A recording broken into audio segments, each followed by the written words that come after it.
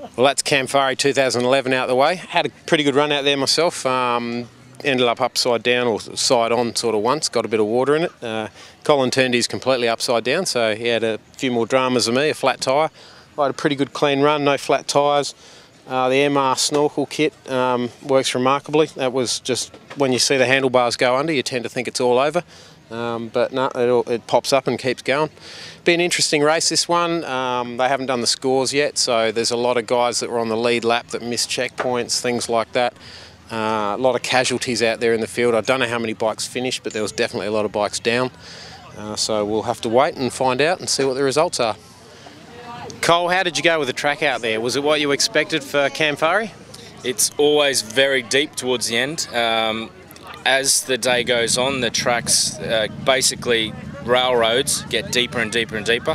One one big thing you've got to do towards the end of the day is if you keep going straight, you'll actually the bike will fall down or get hung up, so the wheels will just be spinning. So one thing I found very helpful is just to cut across. Everyone else going straight ahead. You sort of cut across and you get traction. So, try that? So yeah, more or less sort of weaving it together. That did yeah. seem to be the go. If you're crossing tracks, you don't get caught in the deepest of the ruts. If you do get stuck, you'd be surprised when you get off your you know, belly button deep in water trying to lift one of these things isn't isn't too much fun. The hard thing is too, like in the swamp itself, you can't see the, the bottom of the floor. So basically when it's all funneled in with the trees, everybody goes that way. So basically there's spots there you drop into the almost the handlebars are going under the water. So you've got to try and go sideways so you're not actually in the wheel ruts. Yeah, you mentioned trees there. Uh, once again, we did Kamfari a couple of years ago, and um, there's there's trees close together everywhere. Our quads are about 1,230 mil wide.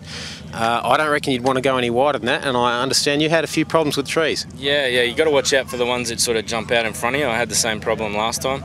Um, I hit a tree at probably 40 or 50 kilometres an hour, I guess, and ended my race. So, yeah, if you want to finish, you got to just slow down a little bit and avoid the trees. All right, thanks, mate. We'll uh, maybe we'll be back next year, eh? Maybe.